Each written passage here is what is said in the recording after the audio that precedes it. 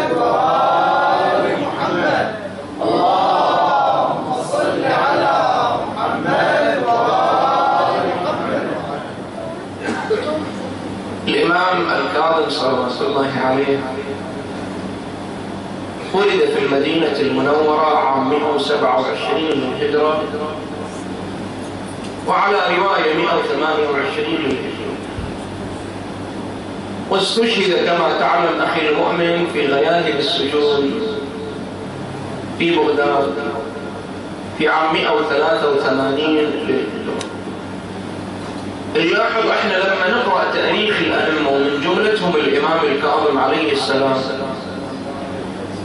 أن المؤرخ يأتي بأكثر من رواية في المولد والاستشهاد في تاريخ المولد وتاريخ الاستشهاد وهي تكررت حتى الإمام علي بن موسى رضا صلوات الله عليه الإمام الحسن عليه السلام الزهراء صلوات الله عليها. قد يتساءل سائل يعني هل من الصعوبة أن يحدد المؤرخ تاريخ المولد وتاريخ الاستشهاد؟ ماكو مؤرخين يكتبون. لأن هذه الظاهرة منشوفة متكررة إلا عند أئمة الهدى عليهم السلام. شنو القضية؟ هذا معلوم المصدر ومعلوم المنشأ. أيضا شلون معلوم المنشأ؟ لأن تاريخ أهل البيت لم يكتب بحرية. العصور المريرة بنو أمية لعنهم وبنو العباس من بعدهم. منعوا تدوين تاريخ أهل البيت بل تدوين كل ما يتعلق بأئمة الهدى عليهم أفضل الصلاة والسلام. من روى عن علي نموذج من روى عن علي فهدموا داره من روى عن علي فاقطعوا عنقه. من روى عن علي فامحوا اسمه من ديوان العطاء. يعني تحجيم إلى التاريخ. يريدون يمحون تاريخ أهل البيت. فضائل أهل البيت. ولذلك ترى حقائق كثيرة غيبت بخصوص أهل البيت. ولم ترى اللي واصل عندنا ما هو إلا قليل. وإلا حتى الإمام الكاظم لو كان التاريخ منصفا لوصل إلينا التاريخ بما هو اعظم عن الإمام صلوات الله عليه. لذلك الذي يدون تاريخ الإمام الكاظم في هذه الفترة وأنت تعرف أن الإمام عاصر قوة الدولة العباسية لعنه الله قوة الدولة العباسية. قنفوانها قوتها. المنصور لعنه الله المهدي لا هداه الله. الهادي عليه اللعنه واخرهم هارون الرشيد لعنه الله هذول عاصرهم الإمام الكاظم عليه أفضل الصلاة والسلام. وانت تدري أن الدولة العباسية كانت في بداياتها يعني هي منتصرة على الدولة الأموية محل الدولة الأموية. وأنت تعرف أول ما طلعوا بشعار أنهم يرجعون الحق لأهل البيت عليهم أفضل الصلاة والسلام. هذا شعار زائف. وبعض الناس أصحاب العقول البسيطة الذين ضاقوا ذرعا من حكومة بني بني أمية. هذول كلهم مشوا ويا بني العباس حتى يرجعون الحق إلى أهل البيت. لكن إحنا نشوف أن التاريخ يسجل بأن الإمامين الصادق عليه السلام والكاظم صلوات الله عليه رفضا المشاركة في هذه الثورة بين قوسين الثورة السنية ولذلك فترة في غاية الألم فترة في غاية الصعوبة فترة في غاية القسوة يكفيك أن المنصور لعنه الله. عندما كان الإمام الصادق يحتضر دس إليه ذلك السم اللقيم أرسل الأمر إلى والي المدينة. اقتلوا من يوصي به الإمام من بعد حتى بعد نفكك بعد لا بعد نرجع من جديد. اقتلوا من يوصي به الإمام من بعد يعني الإمام الذي يأتي من بعد. لكن الأئمة يعلمون النتائج قبل المقدمات يعلمون الغيب لما نقول يعلمون الغيب ترى الكثير يستشكلون علينا شلون تقولون أئمتكم يعلمون الغيب يا مولانا شلون؟ إحنا ما نقول أن الأئمة يعلمون الغيب بطريقة ذاتية. لا لا يعلم الغيب بذاته ولو كنا يعلم الإمام الغيب بذاته كنا كفرنا بالله تبارك وتعالى. هذا الشوك بعينه إحنا ما نقول. الكلام الإمام المعصوم يأتي بالغيب يعلم الغيب بطريقة كسبية. الله تبارك وتعالى يعلمه. هذا مو غريب وأوحى ربك إلى النحل. أوحينا إلى أم موسى. أوحينا إلينا فعل الخيرات كل وحي مولانا. ورؤيا المؤمن وحي يوحى فكيف بإمام معصوم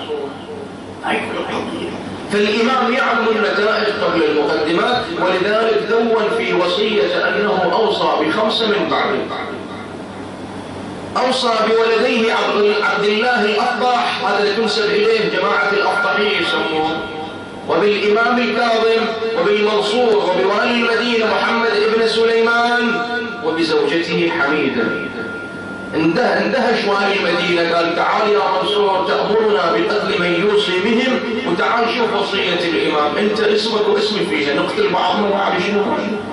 قال خلاص اخفوا وصية الإمام. وخلوا هو الإمام صلوات الله عليه. كثير من الروايات تؤكد بأنه أراد أن يخفي أمر الإمام من بعده خصوصا في هذه الفترة المؤلمة. خصوصا في هذه الفترة. فالإمام ظلم كما ظلم أهل البيت في هذه الحقائق التاريخية. والظلم شيء جديد يا مولاي لا الظالم عندما يستخدم الظلم. شوف الإمام زين العابدين عليه السلام شو يقول؟ شو يقول؟ إنما يحتاج إلى الظلم الضعيف. الضعيف اللي ما عندها الضعيف يحتاج إلى الظلم. وإلا هذا الظلم دليل ضعفه وإنما يعجل من يخاف الفوت. وهذا أدل دليل على ضعف الدولتين الأموية والعباسية لأنهما استخدمتا الظلم سلاحا في محاربة أهل البيت وفي محاربة شيعة أهل البيت. شيعة أذوا من قديم الزمان تأذوا وشوف الإمام الصادق صلوات الله عليه يترحم على شيعة أهل البيت. يقول رحم الله شيعتنا. فلقد أوذوا فينا ولم نؤذ فيهم. هل أذى اللي محصلين من أيام قبل مرجع حجر بن علي الكندي عمرو بن الحمد الخزاعي وغيرهم وغيرهم من الذين عانوا الأمرين وصولا إلى أيامنا هذه روح دور أنت مولاي. المصائب تنزل على من؟ العالم رجال على من؟ كل على شيعتهم. ليش؟ لأنك تحمل في عروقك ولاء لأهل البيت عليهم أفضل الصلاة والسلام. ولو أخفيت الولاء ما تخفيه يعرفونك من شكل فعل يقولون هذا من شيعة أهل البيت. وانت تخفي؟ أقل ما بيطلع عليك ها؟ تربى وبيطلع عليك هذا قرطاسة وصلي عليك قالوا هذا شيء انتهى موضوع. ولذلك هم حاربوا أهل البيت وحاربوا أتباع مدرسة أهل البيت على مر التاريخ والإمام الكاظم عصره ها؟ عرف بالقساوة قاسي عصر الإمام. صحيح. أول عشر سنوات من حكم المنصور اللي عاصر الإمام صلوات الله عليه لأن مدة إمامة الإمام 35 سنة. وترى معظمها في السجود كما يؤكد المؤرخون. لكن أول عشر سنوات هارون المنصور التوانقي لعنه الله اشتغل ببناء مدينتهم مدينة الخلافة بغداد. يحتاج إلى بناء ويحتاج إلى إشراف. فاشتغل عن الإمام صلوات الله عليه. يعني مو بصورة كاملة. الإمام استغل هذه الفترة أخذها يعمل على العلوم علوم أهل البيت وحصن المدينة وأتباعه وتلامذته بالعلوم عقديا علميا فكريا. وأي مجتمع يتحصل من هذه الجوانب هذا مجتمع صعب جدا أن تأتي ثقافة دخيلة وتدخل عليه. لا صعب. لذلك انت انت سوي لك تجربة. وأمام التجارب إيش نسوي تجربة أمام عيوننا موجودة الوقت الذي ترى فيه الثقافات الغريبة التصرفات الغريبة تدخل في مجتمعنا فاعلم بأننا ابتعدنا خطوة عن مدرسة أهل البيت صلوات الله عليه. والوقت اللي إحنا نبتعد فيه خطوة واحدة تأكد بأن الثقافات الغربية اقتربت إلينا خطوات وخطوات لأن ماكو حصول منيعة تمنع حصول المنيعة هم أهل البيت عليهم أفضل الصلاة والسلام. وروح دور المجتمعات التي ليس لها علاقة بأهل البيت. شلون وضعها؟ أخلاقيا ثقافيا اجتماعيا. روح دورهم. يحتاج يفصل الكلام. من يتمسك بأهل البيت؟ نعمة. ما بعدها أكبر نعمة مولاي هي ولاية أهل البيت. هذه أكبر نعمة. ولاية أهل البيت. اللهم ثبتنا على ولايتهم والبراءة أعدائهم يا الله. ولذلك أول عشر سنوات الإمام حصل المدينة المنورة فكريا عقديا كل شيء الإمام إلى أن جاء عهد المهدي لعنه الله الخليفة العباسي. هذا ضيق على الإمام لكن الهادي هو ضيق على الإمام أكثر. وتقول رواية اعتقل في كذا مرة. لكن العصر القاسي هو عصر هارون الرشيد لعنه الله. عصر هارون الرشيد. الذي ملأ السجون. الذي شتت أهل البيت. أتمهل شوف أنت مولاي. ولا واحدة من بنات الإمام الكاظم كثير من المؤرخين يقولون تزوج ما تزوج ليش؟ فيهم نقص بنات الأئمة؟ لا بنات الأئمة أشرف الناس. التقى الورع كل شيء عند أهل البيت. ليش ما يتزوجون بنات الإمام الكاظم إلا واحدة بعض واحد مؤرخ حصلنا يقول تزوجت ولما أيام زوجها قال والله فقط للحاج وهي رواية ضعيفة جدا كلمة واحدة تزوجت ليش ما تعرف ليش؟ لأن من يجرؤ أن يطرق باب الإمام ليطلب واحدة من بناته هذا يطلبها العصر. بالليل على طول جو شالوا هذا عندهم كان ممكن ما أدري شالوا ما انتهى الموضوع. وخذوا ما حد يجرؤ أن يأخذ حتى واحدة من بنات الإمام. إيش هالظلم اللي تعرضت إليه هذه العائلة؟ إيش هالقساوة أولاد الإمام الكاظم روح شوفوا وين مولاي القاسم وغير القاسم وأخوة الإمام الرضا عليه أفضل الصلاة والسلام. روح شوفوا بني هاشم تشتتوا في هذه الفترة الزمنية المؤلمة والضرر الأكبر وقع على الإمام الكاظم عليه السلام. الضرر الأكبر. هذا العدة أسباب الإمام الكاظم كان مميز بين إخوته. وليش نقول مميز؟ لأن الإمام الصادق عنده أبناء كثيرين مولاه وقلنا أن مسألة الإمامة كانت شوية مو واضحة إلى العيان في بدايتها لكن لما رأوا تميز الإمام عرفوا بأنه الإمام من بعد والده. والله وعندنا عبد الله الأفضح الذي تنسب إليه الأفضحية عند إسماعيل الذي تنسب إليه الإسماعيلية. عند علي بن جعفر فقيه عالم جليل. أولاد بعض غيرهم هذا علي بن جعفر يكبر الإمام بعشر سنوات أو بثمان سنوات. لكن يكون احتراما إلى الإمام مدعم بالعقيدة لأن عالم جليل علي بن جعفر. حتى لما يجي الإمام إلى المسجد ينزله من دابته يدخله إلى المسجد يأخذ نعل الإمام إلى صوت يجون إلى أهل المدينة يا ابن جعفر ما الذي تفعله بنفسك؟ والمفروض الصغير يوقر الكبير يحترمه. إحنا نشوف انعكس الأمر. أتعامل أخاك الأكبر وأنت بهذه الشيبة أخاك الأصغر وأنت بهذه الشيبة؟ يقبض على شيبته البيضاء. قال وما أفعل ولم يؤهل الله هذه الشيبة لمنصب الإمامة وأهل هذا الصبي أفلا أذعن وأطيع الإمام الكاظم كما تصفه الروايات له هيبة تأخذ بمجامع القلوب. هذه السيماء المؤمنين كلهم لهم هيبة تأخذ بمجامع القلوب. شوفها على وجه سيماء المؤمنين لكن هذا إمام معصوم هيبة تأخذ بمجامع القلوب. عظم الإمام الكاظم. كان من عباد أهل الأرض من عباد أهل الأرض. لكن تميز الإمام بأبي وأمي تقرأ في الروايات السلام على صاحب السجدة الطويلة ففن في جبهة بأبي وأمي.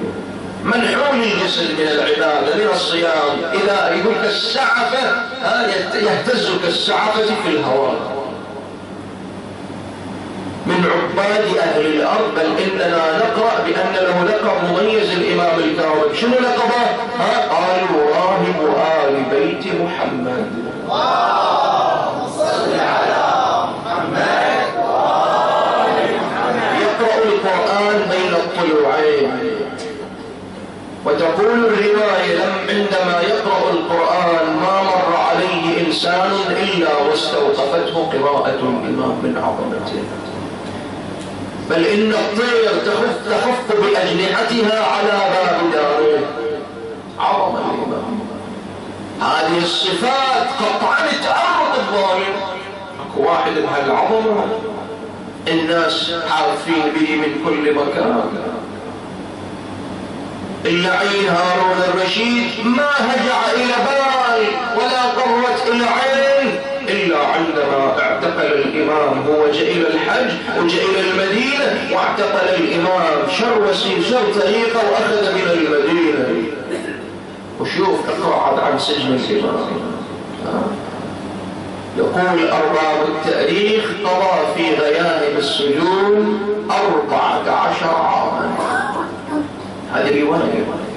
وأكو رواية ثانية. لا عشرين سنة الإمام مغيب في السجون من سجن إلى سجن حتى أربعة عشر سنة أو سبع سنوات على بعض الروايات مو قليلة. عندك حبيب غايب عنك. عندك واحد مغيب في السجون. أنت هذه الليلة في مع المغيب في سجون تصور الإمام تصور حالة الإمام. يا مولاي هالسنوات كلها الإمام في سجن انفرادي وهذا أسوأ حال. إذا أرادوا أن يعاقبوا الواحد يودون السجن الانفرادي والإمام وحيد فريد بأبي وأمي في سجون صحيح أن سجون الإمام ما كلها كان يعذب تعذيب جسدي. لا. مثل سجن الفضل بن الربيع هذا معتقل الإمام ومخيلنا في سطح المدينة. يجي إلى علي بن سويد هذا الفضل بن الربيع يقول له يا ابن سويد تعال معي لأريك عجبا. شندر. قال تعال. يقول أخذني إلى سطح المنزل. الشر على ثوب ملقى على الأرض. قال يا ابن سويد ما الذي ترى؟ قال ثوب ملقى على الأرض. إمامك منحول يقول ثوب ملقى على الأرض. قال أبعد البصر قال إيش فيك يا ابن سويد هذا إمامك الكاظم وأنا متحير بأمره سجوده طويل دموعه غزيرة. ما يقطع العبادة صائم نهار قائم ليل إلى أن نقلوه في آخر حياته إلى طامورة السندي بن شاهق وهذا اللي ضيق على إمامنا عمر وإحنا نقرأ روايات ومو بعيدة على بني العباس لعنهم الله. نقرأ روايات أن الإمام الكاظم في طامورة السندي بن شاهق كان يتعرض إلى ضرب السياط بين فترة وأخرى وضعنا مو في سجن في طابور في بطلان الأرض في حتى نفس إلى الإمام بأبي مظلمة وضع القيود وضع الأغلال على نبي الإمام ورجله وعنقه. وما تسمع إلا قلقلة القيود والأغلال إذا ركع الإمام أو سجد مظلم. إجوا الشيعة إلى ابن سويد يا ابن سويد اكشف لنا أمر الإمام فقد انقطعت أخباره ما نعرف شيء عنه من نقلوا إلى الطابور ما نعرف عن أحواله يقول عندي وياه صداقة على السندي لعنه الله. اجى إلى ابن سويد يقول توسلت أخذ علي العهود والمواثيق فتح باب الطامورة يقول نزلت خمس درجات عتبات في هذه الطامورة وإذا بي لا أرى ظاهر كفي من باطن شد مظلم هذا. يقول أردت أن أرجع وإذا بالصوت من داخل الطاولة يا ابن سويد ها أنا إمامه فرايح تعال داخل الطاولة. ادخل شوف يوصف الحالة إلى الشيعة. يقول نزلت إلى الطاولة ألتمس الأعتاب بيدي. إلى أن صار في بطن الطاولة خلاص. ونفس ماكو داخل الطامورة الواحد يختلف في طه الطامورة المظلمة يقول لكن ما أشوف الإمام يقول أخذت أسمع وإذا بصوت السلاسل وطول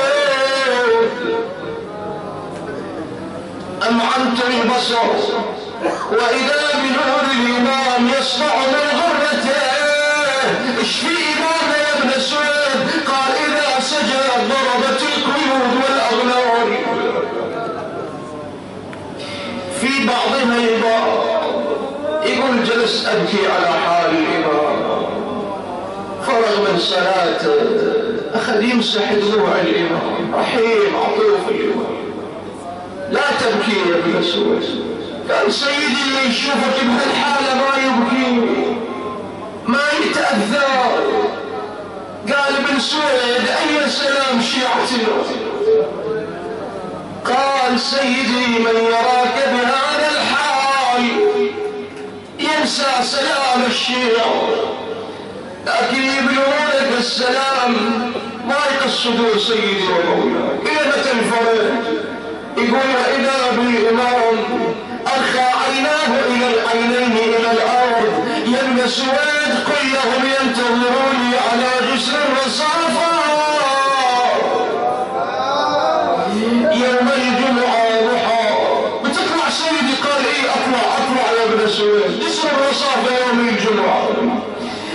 خرجت من عند الإمام مستبشر يطلع الإمام أضرب على بيوت الشيعة الأبواب. البشارة البشارة. إمامكم بيطلع يوم الجمعة.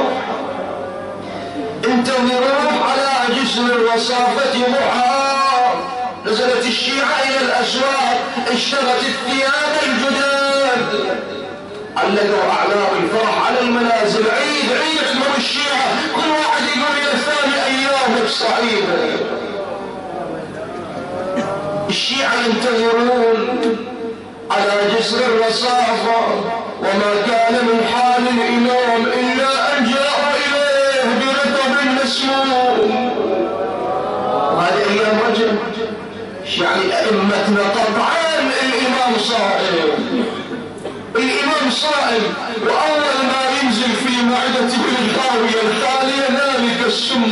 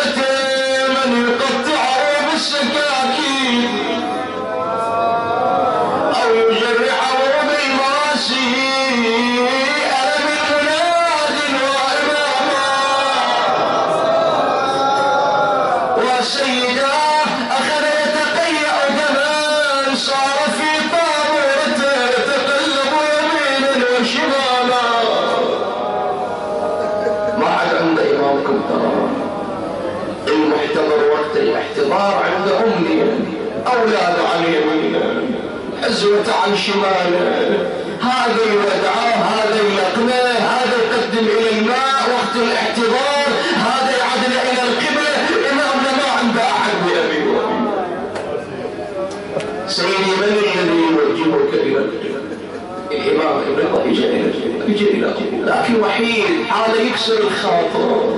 ابن سويد يقول الإمام من ضمن الوصايا أوصاني الوصية ما التفت إليها إلا بعد مماته. شنو يا ابن سويد؟ قال لا تنزعوا الأغلال وأقلعوا القيود عن جسدي إلى سيدي تعرف ليش أقرأ لك هالأبيات وأدخلك إلى المصيبة. وبتعرف الامام ليش يبغى القيود والاغلال على جسده وهو مرمي على جسر الرصاص عند حكي الإمام. لكن وين يقول يا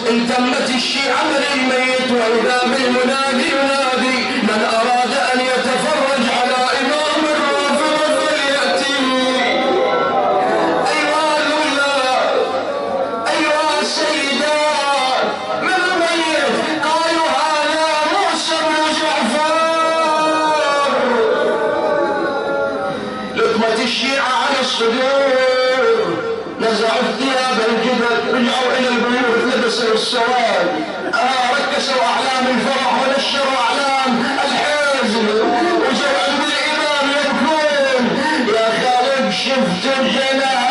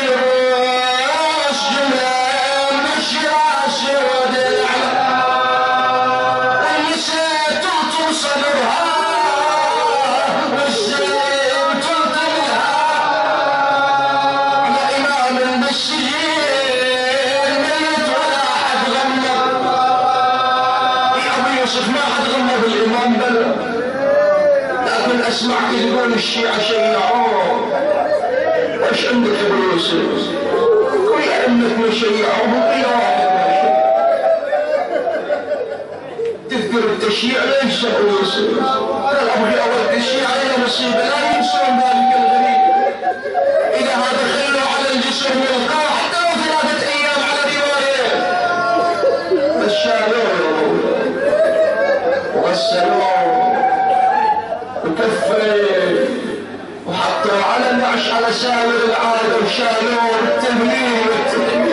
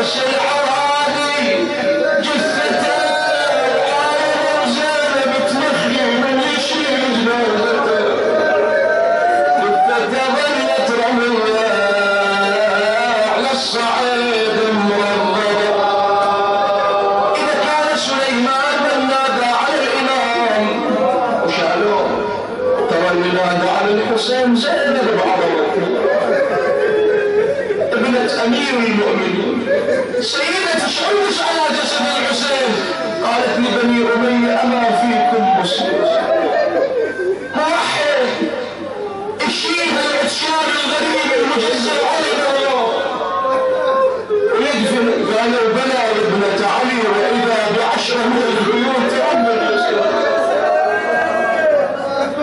وقفت زينب أمام الجنازة أبيت الدعاء وأسأل بالدعاء واسمح لي لو أعطيت عليك الشيء السهل الإمام اسمع وقفت على جنازة زينب أو ذكر أنت اليوم بعد مشيع الشباب ومحترق قلوب أهاليهم. عليه هاي لكن زينب تنادي لمات الفتى المعزوز يا وتصير زلزال والله ناس تفصل جفانا وناس تجيب شيالة بس حسين تجري زي دوس الشهر من والله